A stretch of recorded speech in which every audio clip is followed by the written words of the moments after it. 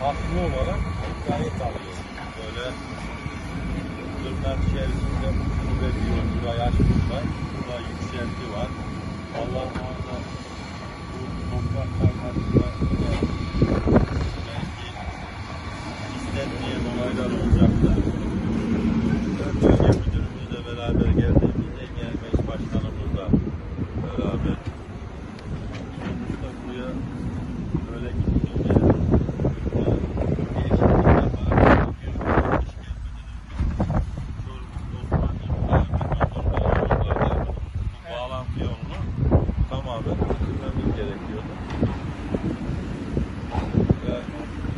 yapılan çalışmalar sonucu o zaman da söylediğimiz üzere biz burayı bir ay içerisinde mutlaka bitirmemiz lazım dedik ve geldiğimiz noktada da e, 10 gün olduysa bilgiye gelelim ve 10 gün sonra da doğru mu?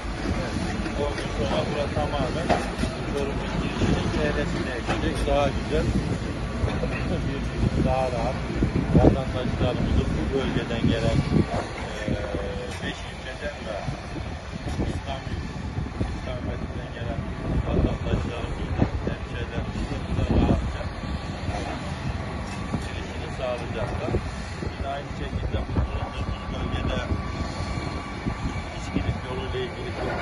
kavşağı inşallah bu sene sonu tamamlamayı planlıyoruz. O zaman da söyledik ve kırmızı kavşak da bu sene tamamlandığında e, 7 ilçe bu bölgede ilçede bulunan e, 4 kilometrelik girişle beraber oradan Çorum'un değişik bölgelerine dağılacaklar. Çorum'un trafiği de komple e, iç trafiğinde bu kavşakla birlikte rahatlatılmış olacak. 10 gün önce geldiğimiz noktayla şu anki noktada dağlar kadar fark var. Tebrik ediyoruz, teşekkür ediyoruz. Ee, e,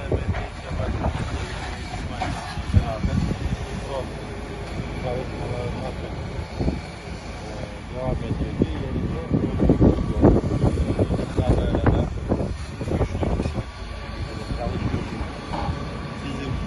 diğer Çorum'daki İskilip çalışmalarınızı da teşekkür ediyoruz, tebrik ediyoruz. Gerçekten işini düzgün yapıyorsunuz. Hakkaniyetli yapıyorsunuz.